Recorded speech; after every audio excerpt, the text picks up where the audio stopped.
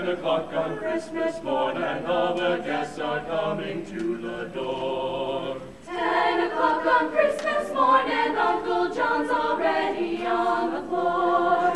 Though the weather's bitter cold, there's not a frown to mar the festive mood. Wait till they discover that old